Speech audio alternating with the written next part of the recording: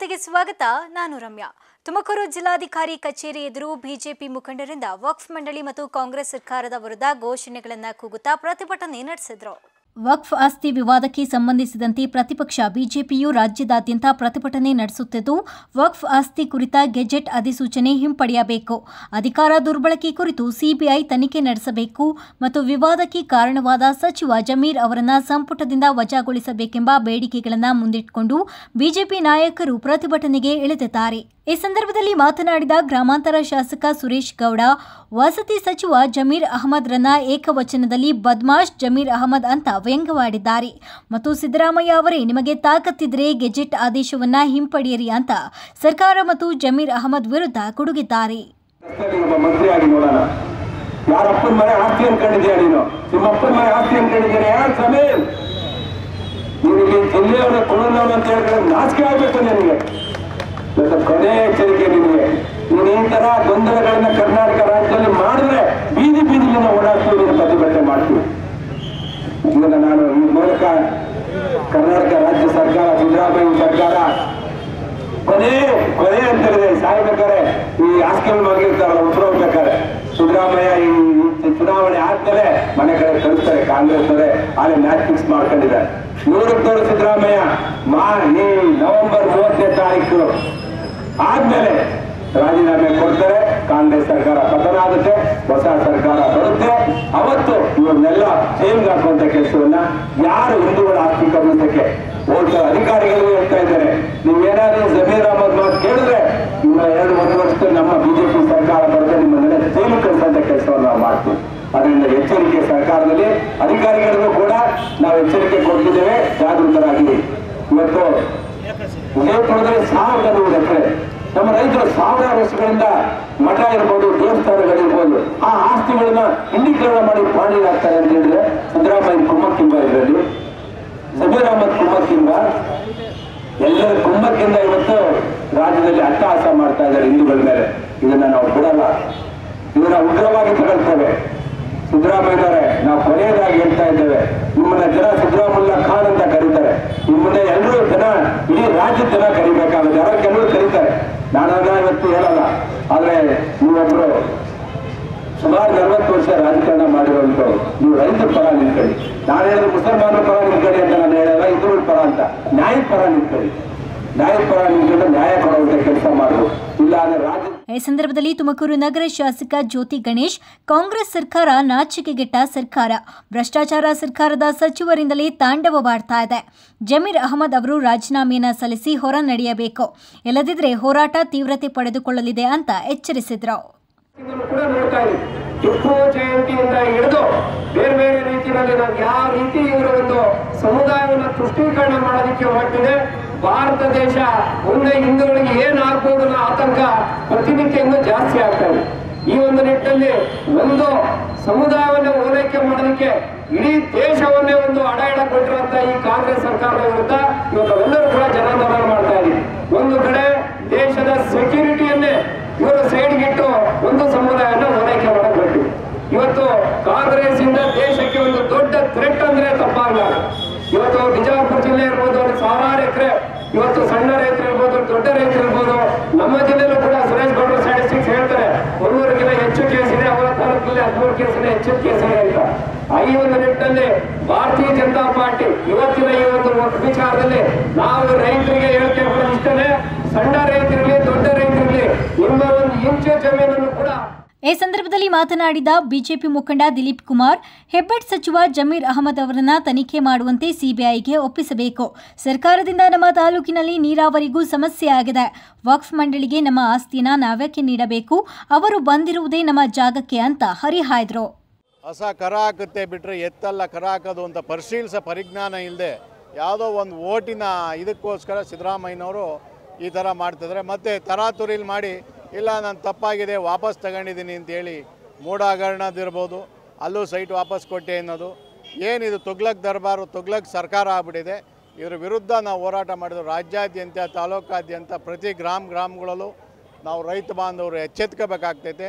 ಇನ್ನೊಂದೇನು ಅಂದರೆ, ಈಗ ಆಲ್ರೆಡಿ ನಮ್ಮ ಜಿಲ್ಲೆಗೆ ಮಾರಣ ಹೋಮ ಮಾಡ್ತಾ ಇದೆ. ನೀರಾವರಿ, ನಾವು ಹೋರಾಟಕ್ಕೆ ಧುಮುಕಿದ್ದೀವಿ ಮಾರಣ ಹೋಮ ಇದೆ ಎತ್ತಿನೊಳೆ ಏನು ಹೇಮಾವತಿ ನೀರು ಬರ್ತಾ ಇರೋದ?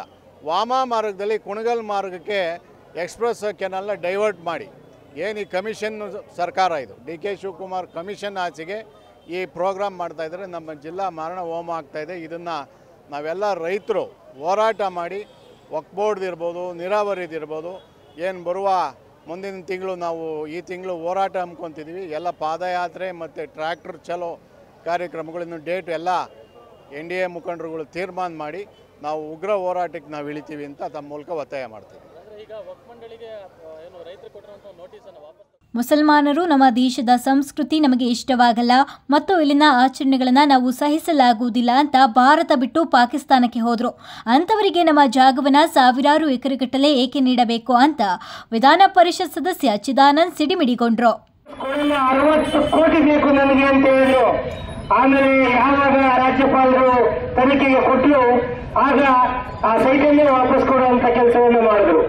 ಅದಾದ ನಂತರ ವಾಲ್ಮೀಕಿ ನಗರಕ್ಕೆ ಕೈ ಹಾಕಿದ್ರು. ಅಲ್ಲಿ ಏನೂ ಮೋಸನೇ ಆಗಿಲ್ಲ ಮತ್ತೆ ಬದಲು ಅದಾದ ನಂತರ, ಇಲ್ಲ, ಮೋಸ ಅಧಿಕಾರಿಗಳು ತಪ್ಪು ಮಾಡಿದ್ದಾರೆ ಅಂತ ಹೇಳಿದ್ರು. ಅದಾದ ನಂತರ ಒಂದು S C P T S P ಹಣಕ್ಕೆ ಕೈ ಹಾಕಿದ್ರು. ಆ ಯೋಜನೆ ನಾನೇ ಮಾಡಿದ್ದು ಅಂತ ಹೇಳಿ ಮಾಡಿದ್ರು. ಈಗ ಬಂದಿದೆ, ಏನು ನಮ್ಮ ಅವರ ವಕ್ ವಕ್ ಮಂಡಳಿ ಕಡೆಯಿಂದ ಯಾವ ಒಬ್ಬ ವಕ್ ಬೋರ್ಡ್ನ ಸಚಿವರು ಇಲ್ಲಿಂದ ಬೀದರ್ಗೆ ಹೋಗಿ, ಇಲ್ಲಿಂದ ನಾರ್ತ್ ಕರ್ನಾಟಕಕ್ಕೆ ಹೋಗಿ, ಆ ಜಿಲ್ಲಾಧಿಕಾರಿಗಳ ಸಭೆಯನ್ನು ಕರೆದು ಅಲ್ಲಿ ನೇರವಾಗಿ ಮಾತಾಡ್ತಾರೆ, ಆದೇಶ ಕೊಡ್ತಾರೆ ಯಾವ್ಯಾವುದು ವಕ್ಫ್ಗೆ ಸೇರಬೇಕು, ಯಾರು ರೈತರಿದ್ದಾರೆ ಮುಲಾಜಿದಂಗೆ ಅದನ್ನೆಲ್ಲ ವಕ್ಫ್ ಕಡೆಗೆ ಮಾಡಿಸ್ಬೇಕು. ಪ್ರಾಣಿಗಳ ತಿದ್ದುಪಡಿ ಆಗಬೇಕು ತಿದ್ದುಪಡಿ ಆಗಿದೆ. ಮೊದಲು ಮೊದಲು ಇದನ್ನು ನಿರಾಕರಿಸ್ತಾರೆ. ಅದಾದ ನಂತರ ತಾವು ಒಪ್ಕೋತಾರೆ, ಇವತ್ತಿನ ಪತ್ರಿಕೆಗಳಲ್ಲಿ ಎಲ್ಲ ಪತ್ರಿಕೆಗಳಲ್ಲಿ ಬಂದಿದೆ. ವಿಜಯ ಕರ್ನಾಟಕ ಬೇರೆ ಬೇರೆ ಪತ್ರಿಕೆಗಳಲ್ಲಿ ಏನು ಹೇಳ್ತಿದ್ದಾರೆ ಸಿದ್ದರಾಮಯ್ಯನವರು? ಆದೇಶವನ್ನ ಹಿಂದೆ ಪಡಿತಾ ಇದೀವಿ ನಾವು ಸಿದ್ದರಾಮಯ್ಯನವ್ರ ಬಗ್ಗೆ ಒಂದು ಗೌರವ ಇತ್ತು. ಒಂದು ದೊಡ್ಡ ಮಟ್ಟಕ್ಕೆ ನಂಬಿಕೆ ಇತ್ತು.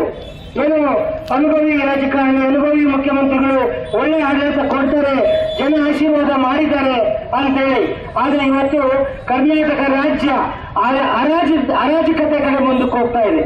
ಏನಾಗ್ತಾ ಇದೆ? ಒಬ್ಬ ರಾಜ್ಯದ ಮುಖ್ಯಮಂತ್ರಿಗೆ ಒಂದು ಮಾನಸಿಕ ಸ್ಥಿಮಿತ ಸ್ಥಿಮಿತತೆ ಇಲ್ಲ.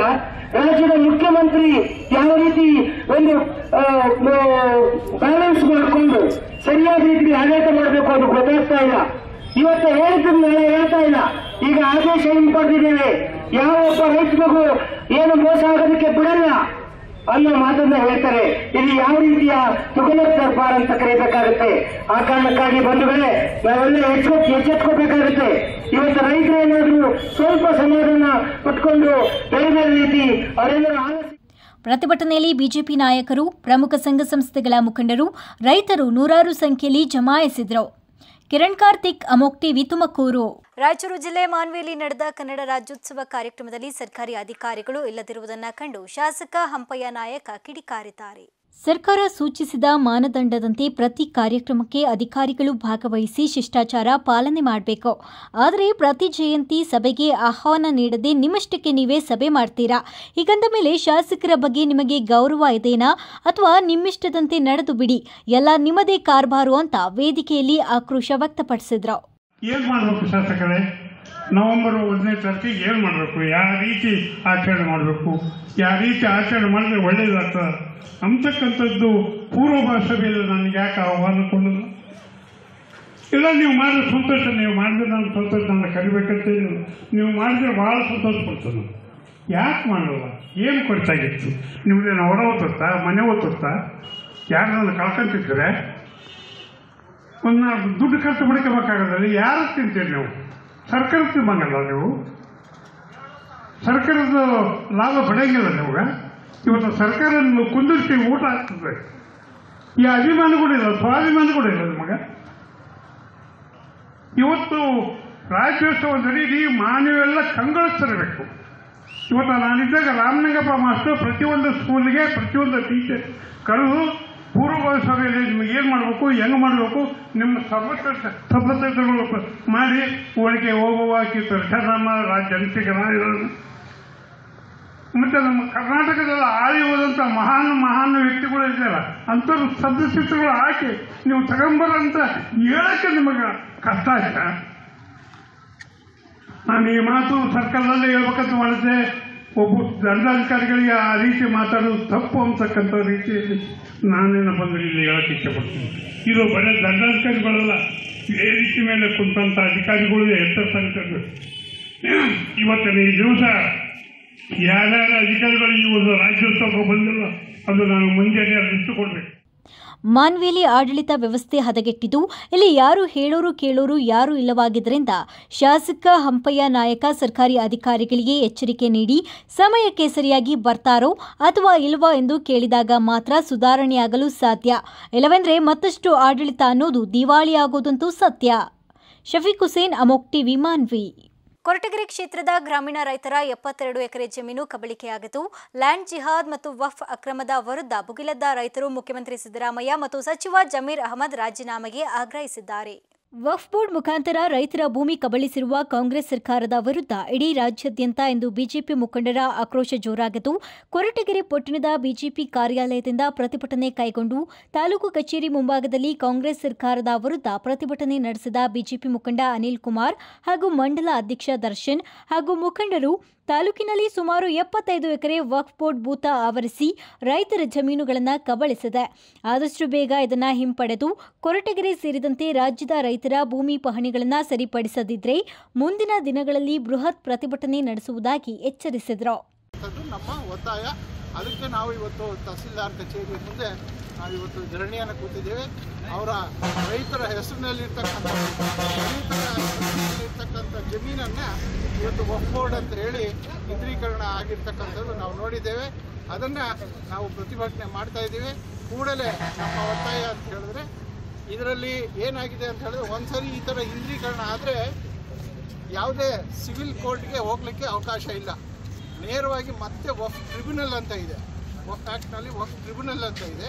ಆ ಟ್ರಿಬ್ಯುನಲಲ್ಲಿ ಹೋಗ್ಬಿಟ್ಟು ರೈತರು ಯಾರ ಹೆಸರಿನಲ್ಲಿ ಇದೆ, ಅವ್ರ ಪಾಣಿಗಳನ್ನು ತೆಗೆದುಕೊಂಡು ಹೋಗಿ ದಾಖಲೆ ಕೊಟ್ಟು ಆ ಟ್ರಿಬ್ಯುನಲಲ್ಲಿ ಅವ್ರ ಪರವಾಗಿ ಆದೇಶವನ್ನು ಕೊಟ್ಕೊಳ್ಬೇಕಾಗ್ತದೆ ಇದಕ್ಕೆ ಒಂದು ಉದಾಹರಣೆ ಅಂತ ಹೇಳಿದ್ರೆ ಕೊರಟಗೆರೆ ತಾಲೂಕಿನಲ್ಲಿ ಇರ್ತಕ್ಕಂಥ ಒಬ್ಬ ರೈತರ ಜಮೀನು ಈ ರೀತಿ ಆಗಿರೋದ್ರಿಂದ ಸುಮಾರು ಹತ್ತು ವರ್ಷದಿಂದ ಅವರು ಇನ್ನೂ ಕೂಡ ಕಚೇರಿಗಳಿಗೆ, ಕೋರ್ಟ್ಗೆ ಅಲಿತಾ ಇದ್ದಾರೆ. ಇದುವರೆಗೂ ಅವರ ಹೆಸರಿಗೆ ಮತ್ತೆ ಅವರು ಜಮೀನು ಬರಲಿಲ್ಲ. ಈ ಒಂದು ರೀತಿಯಾಗಿರ್ತಕ್ಕಂಥ ಒಂದು ಅನ್ಯಾಯವನ್ನು ತಡೆಗಟ್ಟಬೇಕು ಅಂತೇಳಿ ಇವತ್ತು ನಾವು ಪ್ರತಿಭಟನೆಯನ್ನು ಮಾಡ್ತಾ ಇದ್ದೇವೆ. ಬಂದಿರ್ತಕ್ಕಂಥ ರೈತರು ಕೂಡ ಇದ್ದಾರೆ ನಮ್ಮ ಜೊತೆಗೆ. ಏನು ನಾವು ಇವತ್ತು ಪ್ರತಿಭಟನೆ ಮಾಡ್ತಾ ಇದ್ದೀವಿ. ಅದರ ಮುಖಾಂತರ ನಾವು ಸರ್ಕಾರಕ್ಕೆ ಒತ್ತಡ ತರ್ತಕ್ಕಂಥದ್ದು ಏನಂತ ಹೇಳಿದ್ರೆ ಈ ಕೂಡಲೇ ಏನು ಎಪ್ಪತ್ತೈದು ಎಕರೆ ಇಂದ್ರೀಕರಣ ಆಗಿದೆ. ಅದನ್ನು ವಾಪಸ್ ತೆಗೆದುಕೊಂಡು ನಮಗೆ ತಿಳಿಸಬೇಕು ಅಂತಕ್ಕಂಥದ್ದು ನಮ್ಮ ಒತ್ತಾಯ. ಬಿಜೆಪಿ ಮಂಡಲ ಅಧ್ಯಕ್ಷ ದರ್ಶನ್ ಮಾತನಾಡಿ, ಪದೇ ಪದೇ ಕಾಂಗ್ರೆಸ್ ಸರ್ಕಾರದಿಂದ ಈ ತಪ್ಪುಗಳು ನಡೆಯುತ್ತಿವೆ.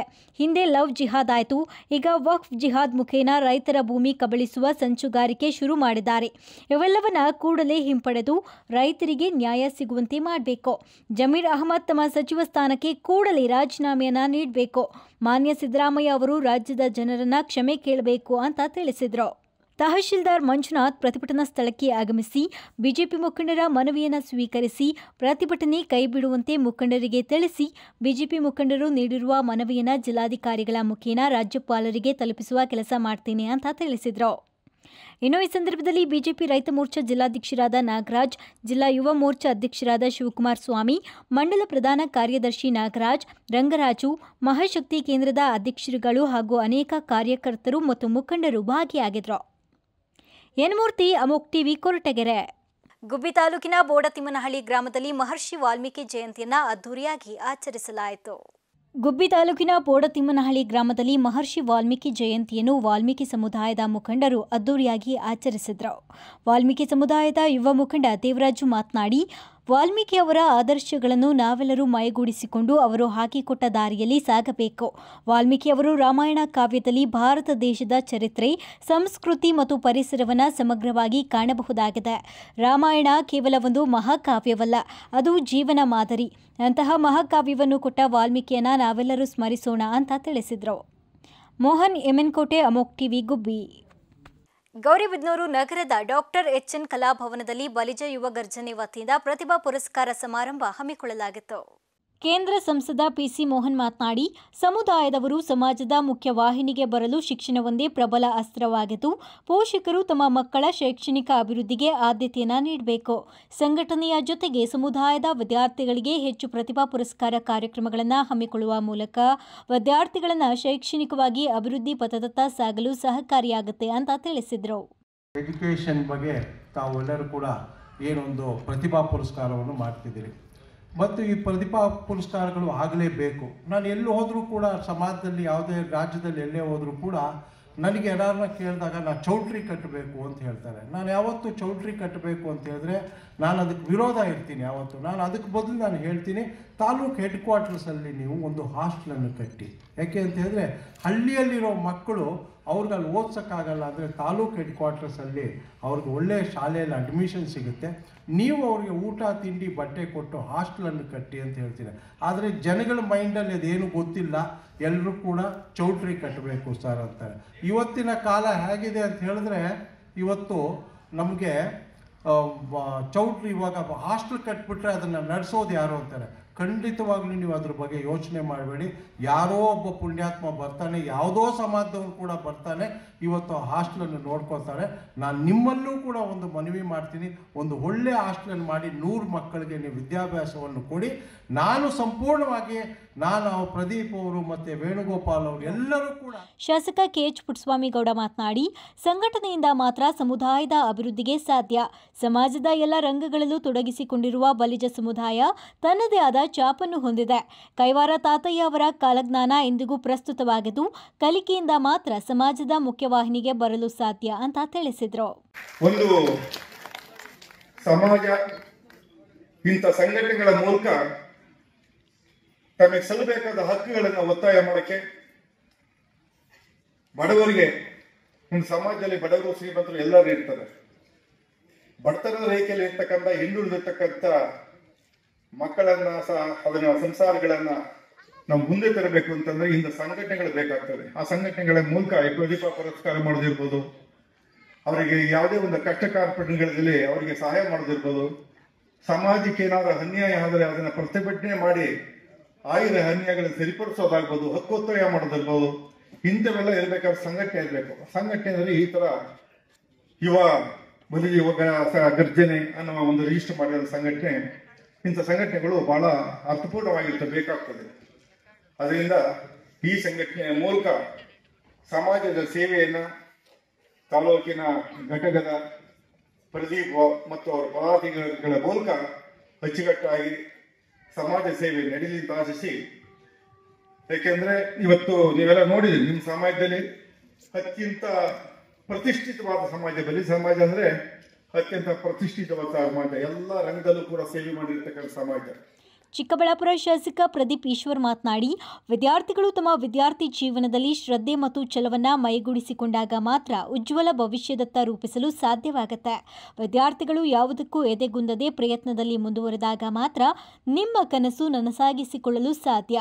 ಸ್ವಾರ್ಥ ಪ್ರಪಂಚದಲ್ಲಿ ವಾಸ್ತವತೆಯನ್ನು ಅರಿತುಕೊಂಡು ಶೈಕ್ಷಣಿಕವಾಗಿ ಮುಂದುವರಿಯಬೇಕು ಅಂತ ತಿಳಿಸಿದರು. ನಿಮಗೆ ಮದುವೆ ಆಗಿ ಒಂದು ಮಗ, ಒಂದು ಮಗಳಾದ್ಮೇಲೆ ನಿಮಗೆ ಹೆಂಗೆ ನಿಮ್ಮ ಮಗ, ನಿಮ್ಮ ಮಗಳು, ಅವ್ರ ಫ್ಯೂಚರ್ ಅವ್ರ ಮದುವೆ ಅಂತ ನೀವು ಯೋಚನೆ ಮಾಡಿದ್ರು ನಿಮ್ಮ ಮಕ್ಕಳಿಗೂ ಮಕ್ಕಳಾದ್ರೆ ಅವ್ರು ಅವ್ರ ಮಕ್ಕಳ ಬಗ್ಗೆ ಯೋಚನೆ ಮಾಡ್ತಾರೆ ನಿಮ್ಮ ಬಗ್ಗೆ ಅಲ್ಲ. ಇದ್ಯಾಕೆ ನಮ್ಗೆ ಯಾರಿಗೂ ಅರ್ಥ ಆಗ್ತಿಲ್ಲ? ನನಗೆ ಮದುವೆ ಆದ್ಮೇಲೆ ನನ್ನ ಮಗ ನನ್ನ ಮಗಳ ಫ್ಯೂಚರ್ ನನಗೆ ಮುಖ್ಯ. ನನ್ನ ಮಗ, ಮಗಳಿಗೂ ಅವ್ರ ಮಕ್ಕಳ ಫ್ಯೂಚರ್ ಮುಖ್ಯ ರೀ, ನಾನಲ್ಲ. ಇದೇ ನಿಜ. ಇದು ಅರ್ಥ ಆಗಲ್ಲ. ಇದಂತ ಸ್ವಲ್ಪ ನೋಡಿ ಇನ್ಯಾಕ್ ಬಾಗು ಅಂತ ನೀವು ಹೇಳಿದ್ నాలుగు కాస్త వచ్చేతోడు ఎత్తేసాడు నాలుగు సైట్లు చేయకుండా చెయ్యి ఏం చేస్తావు కొడుకు ఒక పక్క కూతురు ఒక పక్క కాట్లాడతారు ಅಂತೆ కదా ಅಣ್ಣ ನಾನು ಹೇಳೋದು ಯಾಕಿದೆಲ್ಲ ಹೇಳ್ತಿದ್ದೀನಿ ಅಂದ್ರೆ ನನ್ನ ಮಕ್ಕಳನ್ನ ಕಾಪಾಡೋದು ನನ್ನ ಒಳ್ಳೆತನನೇ ನನ್ನ ಒಳ್ಳೆತನನೇ ಯಾಕಿದೆಲ್ಲ ಈ ಜನರೇಷನ್ ಅವ್ರಿಗೆ ಹೇಳ್ತಿದ್ದೀನಿ ಎಲ್ಲ ಬಡವ್ರ ಮಕ್ಕಳಿಗೆ ಹುಡುಗರು ಹುಡುಗಿರಿಗೆ ಹೇಳ್ತಿದ್ದೀನಿ ತಲೆಗೆ ಎಡ್ಸ್ಕೊಬೇಡಿ ಒಂದು ಎಕ್ಸಾಮ್ ಓದ್ಬೇಕಾ ಓದು ಕುತ್ಕೊಂಡು. ಪರವಾಗಿಲ್ಲ. ಒಂದು ಎರಡು, ಮೂರು ಸಾವಿರ ಇದ್ರೆ ಸಾಕು ಬುಕ್ಸು ಬರುತ್ತೆ. ಡಾಕ್ಟರ್ ಆಗ್ಬೇಕಾ ಓದು. ಕಷ್ಟ ಇದೆಯಾ, ಬಾ, ನನ್ನ ಹತ್ರ ಸಪೋರ್ಟ್ ಮಾಡ್ತೀನಿ. ಓದ್ ಕುತ್ಕೊಂಡು. ಓದ್ಬೇಕಷ್ಟೇ ಮೊಬೈಲ್ ಬಿಟ್ಟು. ನಾನು ಮೊಬೈಲ್ ಇಟ್ಕೊಂತೀನಿ ಟಿವಿ ನೋಡ್ತೀನಿ ಅಮೆಝಾನು ನೆಟ್ಫ್ಲಿಕ್ಸ್ ಅಲ್ಲಿ ಇದ್ರೆ ಏನು ಆಗಲ್ಲ. ಕುತ್ಕೊಂಡು ಓದ್ಬೇಕು. ಅಪ್ಪ, ಅಮ್ಮ ಕಷ್ಟ. ಅಪ್ಪಗ ಆರೋಗ್ಯ ಚೆನ್ನಾಗಿಲ್ಲ. ಏನ್ ಮಾಡಕ್ಕಾಗುತ್ತೆ ನಿನ್ ಕೈಯಲ್ಲಿ? ಏನ್ ಮಾಡಕ್ಕಾಗುತ್ತೆ? ನಮ್ಮ ಅಪ್ಪ ಅಮ್ಮ ತೀರೋದಾಗ ತರಕಾರಿ ವೆಂಕಟಪ್ಪನವ್ರು ಅಂತ ನನ್ನ ತಾತನವರು ನನ್ನ ಸಾಕಿ ಬೆಳೆಸಿದ್ರು. ಇವತ್ತು ನಮ್ಮೂರು ಕ್ರಾಶಿಂದ ಊರಿಗೆ ನಾಲ್ಕೂವರೆ ಕೋಟಿ ಅನುದಾನ ಹಾಕಿದೀನಿ ಅವರು. ಆ ರಸ್ತೆಗೆ ಹೆಸರಿಡ್ತಾ ಇದ್ದೀನಿ. ಸಾಕಿರೋ ಮಗ ತಾತನಿಗೆ ಇನ್ನೇನ್ ಮಾಡಕ್ಕಾಗುತ್ತೆ? ವೇದಿಕೆಯಲ್ಲಿ ಬಲಿಜ ಸಂಘದ ರಾಜ್ಯಾಧ್ಯಕ್ಷ ಎನ್. ನಾಗಾರ್ಜುನ ನಾಯ್ಡು, ನಗರಸಭೆ ಸದಸ್ಯರಾದ ವಿ. ರಮೇಶ್, ಮಾಜಿ ಸದಸ್ಯರಾದ ಜಿವಿ ಅಶ್ವಥ್ ನಾರಾಯಣ್ ಸಂಚಾಲಕರಾದ ಮುದ್ದುಕೃಷ್ಣ ಜಿಆರ್ ರಾಜು, ಪಾರ್ವತಮ್ಮ ಹಾಗೂ ಮುಂತಾದವರು ಭಾಗವಹಿಸಿದ್ರು. ಆರ್ ಮಂಜುನಾಥ್, ಅಮೋಕ್ ಟಿವಿ ಗೌರಿಬತ್ನೂರು ದೇವನಹಳ್ಳಿ ತಾಲೂಕಿನ ಯಮ್ರಹಳ್ಳಿ ಹಾಲು ಉತ್ಪಾದಕರ ಸಹಕಾರ ಸಂಘದ ಐವತ್ತನೇ ಸುವರ್ಣ ಮಹೋತ್ಸವ ಮತ್ತು ಶುದ್ಧ ಕುಡಿಯುವ ನೀರಿನ ಘಟಕ ಉದ್ಘಾಟನಾ ಕಾರ್ಯಕ್ರಮವನ್ನು ಸಚಿವ ಕೆಎಚ್ ಮುನಿಯಪ್ಪ ನೆರವೇರಿಸಿದರು. ಸಚಿವ ಕೆಎಚ್ ಮುನಿಯಪ್ಪ ಮಾತನಾಡಿ, ಗ್ರಾಮೀಣ ಭಾಗದ ಜನತೆಗೆ ಹೈನುಗಾರಿಕೆ ಮತ್ತು ರೇಷ್ಮೆ ರೈತರ ಜೀವನವನ್ನು ಸುಧಾರಿಸುತ್ತಿದೆ. ಇಂತಹ ಕಸುಬನ ನಿಲ್ಲಿಸಬೇಡಿ. ಸರ್ಕಾರಿ ಶಾಲೆಗಳ ಉನ್ನತೀಕರಣಕ್ಕೆ ಮತ್ತು ನುರಿತ ಶಿಕ್ಷಕರನ್ನ ನಿಯೋಜಿಸಲು ಜವಾಬ್ದಾರಿಯುತ ಕೆಲಸವನ್ನು ನಮ್ಮ ಸರ್ಕಾರ ಮಾಡುತ್ತಿದೆ. ಜೊತೆಗೆ ಪಠ್ಯೇತರ ಚಟುವಟಿಕೆಗಳಿಗೆ ಆದ್ಯತೆ ನೀಡ್ತಾ ಇದ್ದು, ಪ್ರತಿ ಗ್ರಾಮ ಪಂಚಾಯಿತಿ ವ್ಯಾಪ್ತಿಯಲ್ಲಿ ಸರ್ಕಾರಿ ಶಾಲೆಗಳನ್ನು ನಿರ್ಮಿಸಿ ಗುಣಮಟ್ಟದ ಶಿಕ್ಷಣ ನೀಡುವ ಚಿಂತನೆಯನ್ನ ಮಾಡಿದ್ದೇವೆ. ಬೆಂಗಳೂರು ಅಂತಾರಾಷ್ಟ್ರೀಯ ವಿಮಾನ ನಿಲ್ದಾಣ ಪ್ರವೇಶ ಯೋಜನಾ ಪ್ರಾಧಿಕಾರದಲ್ಲಿ ಕೆರೆ ಹೂಳೆತ್ತಲು ಸಾಕಷ್ಟು ಅನುದಾನ ಇದೆ. ಮಳೆ ಹೆಚ್ಚಾಗಿ ಬಿದ್ದು ಕೆರೆ ಕಟ್ಟೆಗಳು ತುಂಬಿರುವ ಕಾರಣ ಅದಕ್ಕೆ ವಿನಿಯೋಗವಾಗುವ ಹಣವನ್ನು ಶಿಕ್ಷಣಕ್ಕೆ ಉಪಯೋಗಿಸಲಾಗುತ್ತೆ ಅಂತ ತಿಳಿಸಿದ್ರು. ಶೌಚಾಲಯ ಮಕ್ಕಳಿಗೆಲ್ಲ ಮಾಡೋದಕ್ಕೆ ಒಂದು ಕಾರ್ಯಕ್ರಮ ರೂಪಿಸಿದ್ದೀನಿ. ಅದನ್ನು ಸುಮಾರು ಒಂದು ವರ್ಷದಲ್ಲಿ ಮೂವತ್ತು ಪಂಚಾಯಿತಿಯಲ್ಲಿ ಕೂಡ ಮಾಡಬೇಕು, ಮತ್ತೆ ಜಿಲ್ಲೆಯಲ್ಲಿ ಎಲ್ಲ ಕಡೆ ಮಾಡಬೇಕು ಅಂತ ಯೋಚನೆ ಮಾಡಿದ್ದೀವಿ. ಆ ಪ್ರಕ್ರಿಯೆ ಈಗಾಗಲೇ ಶುರುವಾಗಿದೆ. ಆದ್ದರಿಂದ ಮಕ್ಕಳನ್ನು ಗುಣಮಟ್ಟದ ವಿದ್ಯಾಭ್ಯಾಸ ಕೊಡಬೇಕು, ಸರ್ಕಾರಿ ಶಾಲೆಗೆ ಕಳಿಸ್ಬೇಕು. ಕಾನ್ವೆಂಟ್ಗಳಿಗೆ ಅಷ್ಟೊಂದು ಹೆವಿ ದುಡ್ಡು ನಮ್ಮ ರೈತರು ಕೊಡೋಕ್ಕಾಗಲ್ಲ, ಕಾರ್ಮಿಕರು ಕೊಡೋಕ್ಕಾಗಲ್ಲ ಅಂತ ಒಂದು ಹೊಸ ಚಿಂತನೆಯನ್ನು ಮಾಡಿದ್ದೀನಿ. ಅದು ಅಕ್ಟೋಬರ್ ಎರಡು ಹೋದ ವರ್ಷ ಪ್ರಾರಂಭ ಮಾಡಿದ್ದೀನಿ. ಇದನ್ನು ತ್ವರಿತಗತಿಯಲ್ಲಿ ತೆಗೆದುಕೊಂಡು ಪ್ರತಿ ಗ್ರಾಮ ಪಂಚಾಯಿತಿಯಲ್ಲಿ ಒಂದು ಉತ್ತು ಅತ್ಯುತ್ತಮವಾದಂಥ ಒಂದು ಶಾಲೆಯನ್ನು ಕಟ್ಟು ಅದಕ್ಕೆ ಸರಿಯಾದಂಥ ಉಪಾಧ್ಯಾಯರನ್ನು ಕೊಟ್ಟು ಗುಣಮಟ್ಟದ ವಿದ್ಯಾಭ್ಯಾಸವನ್ನು ಕೊಡಿಸಬೇಕು ಅಂತ ಒಂದು ಚಿಂತನೆಯನ್ನು ಮಾಡಿದ್ದೇವೆ. ಈ ಸಾರಿ ಕೆರೆಗಳು ತುಂಬಿರೋದ್ರಿಂದ ಹೆಚ್ಚಿಗೆ ಕೆರೆ ಕೆಲಸ ಮಾಡೋಕ್ಕಾಗಲ್ಲ. ಅದಕ್ಕೇನೋ ಹಣ ಸ್ವಲ್ಪ ವ್ಯವಸ್ಥೆ ಐತಿ ಬಯಪ್ಪನಲ್ಲಿ ಸುಮಾರು ನೂರ ನೂರೈವತ್ತು ಕೋಟಿ ಖರ್ಚು ಮಾಡೋಕ್ಕೆ ಹಣ ಒದಗಿಸಿದೆ. ಆದರೆ ಕೆರೆಗಳನ್ನು ಕಾರ್ಯಕ್ರಮದಲ್ಲಿ ಬಯಪ ಅಧ್ಯಕ್ಷ ಶಾಂತಕುಮಾರ್, ಸದಸ್ಯ ಪ್ರಸನ್ನಕುಮಾರ್, ಬುಮುಲ್ ನಿರ್ದೇಶಕ ಶ್ರೀನಿವಾಸ್, ಮುಖಂಡರಾದ ಗೋಪಾಲಗೌಡ, ರವಿಕುಮಾರ್, ಹಾಲು ಉತ್ಪಾದಕರ ಸಹಕಾರ ಸಂಘದ ಅಧ್ಯಕ್ಷ ಶಿವಮೂರ್ತಿ, ಉಪಾಧ್ಯಕ್ಷ ವೀಣಾ, ನಿರ್ದೇಶಕರಾದ ಮಾರೇಗೌಡ, ಹೊನ್ನೇಗೌಡ, ಮುನಿರಾಜಣ್ಣ ಹಾಗೂ ಹಲವು ಮುಖಂಡರು ಹಾಜರಿದ್ದರು. ಅಕ್ಷಯ್ ವಿ ಅಮೋಕ್ ಟಿವಿ, ದೇವನಹಳ್ಳಿ. ಚಿಕ್ಕನಾಯಕನಹಳ್ಳಿ ತಾಲೂಕಿನ ಇಪ್ಪತ್ತಾರು ಕೆರೆಗಳಿಗೆ ಹೇಮಾವತಿ ನೀರು ಹರಿಸುವಂತೆ ಒತ್ತಾಯಿಸಿ ರೈತ ಹೋರಾಟ ಸಂಚಲನ ಸಮಿತಿ ವತಿಯಿಂದ ನೀರಿನ ಹಕ್ಕಿಗಾಗಿ ಪ್ರತಿಭಟನೆ ನಡೆಸಲಾಯಿತು. ಹುಳಿಯಾರು ಗೇಟ್ನಲ್ಲಿ ಇರುವ ಅಂಬೇಡ್ಕರ್ ಪ್ರತಿಮೆಗೆ ಮಾಲಾರ್ಪಣೆ ಮಾಡಿ ನೆಹರು ಸರ್ಕಲ್ನಲ್ಲಿ ಮಾನವ ಸರಪಳಿ ರಚಿಸಿ ವಿವಿಧ ಸಂಘ ಸಂಸ್ಥೆ ಮತ್ತು ರೈತರು ಪ್ರತಿಭಟನೆ ನಡೆಸಿತು. ತಹಶೀಲ್ದಾರ್ ಕಚೇರಿಗೆ ಪಾದಯಾತ್ರೆಯೊಂದಿಗೆ ಬಂದು ತಾಲೂಕಿನ ಇಪ್ಪತ್ತಾರು ಕೆರೆಗಳಿಗೆ ಹೇಮಾವತಿ ನೀರು ಹರಿಸುವಂತೆ ಸರ್ಕಾರಕ್ಕೆ ಮನವಿ ಸಲ್ಲಿಸಿದರು. ನಿತ್ಯ ನಿರಂತರ ಅರಣ್ಯ ಕೆರಳಿಂದ ಕೂಡಿತ್ತು. ಕಳೆದ ಮೂವತ್ತು ನಲವತ್ತು ವರ್ಷಗಳಿಂದ ಮಳೆಯ ಪ್ರಮಾಣ ಕಡಿಮೆಯಾಗಿ ನಮ್ಮ ಏನು ಈ ಒಂದು ಅರೆಮಲ್ನಾಡ ಏನಾಗಿತ್ತು, ಸತತ ಬರಗಾಲದಿಂದ ಬರಡಾಗಿ, ಮರುಭೂಮಿಯಾಗಿ ಮಾರ್ಪಾಡಾಯಿತು. ಅದೃಷ್ಟವಶಾತ್ ನಮ್ಮ ನಿವೃತ್ತ ಇಂಜಿನಿಯರ್ ಆದಂತ ಜಿ ಎಸ್ ಪರಮಶಿವಯ್ಯನವರ ಒಂದು ದೂರದೃಷ್ಟಿ ತಾಂತ್ರಿಕ ಅವರ ನೈಪುಣ್ಯತೆಯಿಂದ ಹೇಮಾವತಿ ಏನು ಹಾಸನದಿಂದ ತುಮಕೂರಿಗೆ ಹರಿತಾ ಇರ್ತಕ್ಕಂಥ ಚಾನೆಲ್ನಲ್ಲಿ ಕುಲಾಂತರಿ ತಳಿಗಳಿಗೆ ಅವಕಾಶ ಮಾಡಿಕೊಡಬಾರದು ಅಂತ ಮಧುಗಿರಿಯ ಉಪವಿಭಾಗಾಧಿಕಾರಿ ಕಚೇರಿ ಮುಂದೆ ರೈತ ಮೋರ್ಚಾದಿಂದ ಪ್ರತಿಭಟನೆ ನಡೆಸಲಾಯಿತು. ಮುನ್ಸಾಂಟೋ ಬೇಯರ್ ಕಾರ್ಗಿಲ್ ಸೇರಿದಂತೆ ಅನೇಕ ಬಹುರಾಷ್ಟ್ರೀಯ ಕಂಪನಿಗಳು ಕುಲಾಂತರಿ ತಳಿಯ ಬೆಳೆಗಳ ಮೂಲಕ ಜಾರಿಗೆ ತರುತ್ತಿದ್ದು, ದೇಶೀಯ ತಳಿಗಳನ್ನ ಹಾಳು ಮಾಡಿ ಜೀವ ವೈವಿಧ್ಯತೆಯನ್ನು ನಾಶ ಮಾಡಿ ಕೃಷಿ ವೈವಿಧ್ಯತೆಯನ್ನು ಆಹಾರ ಸಾರ್ವಭೌಮತ್ವದಲ್ಲಿ ತನ್ನ ಸ್ವಾಧೀನದಲ್ಲಿಟ್ಟುಕೊಳ್ಳಲು ಹಲವಾರು ಅಂತಾರಾಷ್ಟ್ರೀಯ ಕಂಪನಿಗಳು ಹಾತೊರೆಯುತ್ತಿದ್ದಾವೆ. ಈ ಕುಲಾಂತರಿ ತಳಿಗಳಿಂದ ರೈತರಲ್ಲಿ ಕ್ಯಾನ್ಸರ್ ರೋಗಗಳಂತಹ ಮಾರಕ ಕಾಯಿಲೆಗಳು ಉತ್ಪನ್ನವಾಗುತ್ತಿವೆ. ಹಲವು ರಾಷ್ಟ್ರಗಳೇ ಈ ಕುಲಾಂತರಿ ತಳಿಗಳನ್ನ ಬ್ಯಾನ್ ಮಾಡಿದೆ. ಹಾಗಾಗಿ ನಮ್ಮ ರಾಜ್ಯದಲ್ಲಿ ಇದಕ್ಕೆ ಅವಕಾಶ ಮಾಡಿಕೊಡಬಾರದು ಎಂದು ಕರ್ನಾಟಕ ರಾಜ್ಯ ರೈತ ಸಂಘದ ತಾಲೂಕು ಅಧ್ಯಕ್ಷರು, ಉಪಾಧ್ಯಕ್ಷರು ಸಿದ್ದರಾಮಯ್ಯನವರಿಗೆ ಬರೆದ ಪತ್ರವನ್ನ ತಹಸೀಲ್ದಾರ್ ಶಿರಿನ್ ತಾಜ್ ಅವರಿಗೆ ಪತ್ರವನ್ನ ಸಲ್ಲಿಸಿದ್ದಾರೆ. ಮುಂದುವರಿಸಬೇಕು ಅಂತಕ್ಕಂಥ ಒಂದು ಒತ್ತಾಯವನ್ನ ಈ ಸಂದರ್ಭದಲ್ಲಿ ನಾನು ಮಾಡ್ತೇನೆ. ಇದರ ಜೊತೆಯಲ್ಲಿ ಇಲ್ಲಿಗೆ ಮೂರು ವರ್ಷದ ಮುಂಚೆ ಅತಿವೃಷ್ಟಿ ಆಯಿತು. ಸಂಪೂರ್ಣ ಬೆಳೆ ನಾಶ ಆಯಿತು. ಇಡೀ ಮಧುಗಿರಿ ತಾಲೂಕಿನ ಎಲ್ಲ ರಸ್ತೆಗಳು ನೀರು ತುಂಬಿ ಹರಿದು ಕೆಲವು ಸೇತುವೆಗಳೆಲ್ಲ ಹಾಳಾಗೋದು.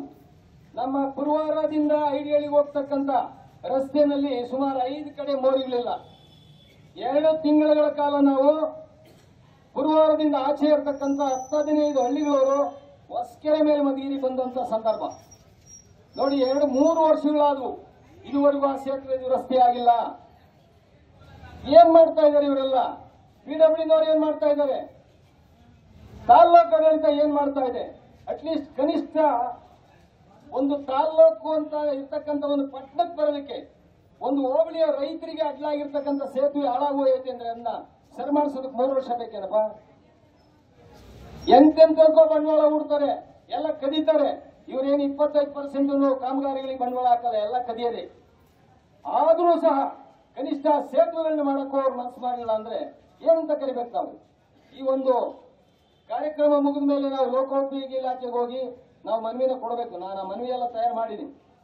ಇದ್ರ ಜೊತೆಯಲ್ಲಿ ಇನ್ನು ಈ ಸಂದರ್ಭದಲ್ಲಿ ಶಂಕರಪ್ಪ ಜಿಲ್ಲಾ ಕಾರ್ಯದರ್ಶಿ ದೊಡ್ಡಮಾಳೆಯ ಸಂಘಟನಾ ಕಾರ್ಯದರ್ಶಿ, ನಾಗರತ್ನಮ್ಮ ಜಿಲ್ಲಾ ಮಹಿಳಾ ಅಧ್ಯಕ್ಷೆ, ಎಂಡಿ ಚಿಕ್ಕಣ್ಣ ಗೌರವಾಧ್ಯಕ್ಷ ಹಾಗೂ ಉಪಾಧ್ಯಕ್ಷರುಗಳಾದ ನಾಗರಾಜು, ರಾಮೇಗೌಡ, ಮೂಡ್ಲಿಗಿರಿಯಪ್ಪ ಮುಂತಾದವರು ಉಪಸ್ಥಿತರಿದ್ದರು. ಫಣೀಂದ್ರ, ಅಮೋಘ ಟಿವಿ, ಮಧುಗಿರಿ. ಇದಿಷ್ಟು ಇವರಿಗಿನ ಸುದ್ದಿಗಳು ಮತ್ತಷ್ಟು ಸುದ್ದಿಗಾಗಿ ನೋಡ್ತಾ ಇರಿ ಟಿವಿ ಎಂದೆಂದಿಗೂ ನಿಮ್ಮೊಂದಿಗೆ.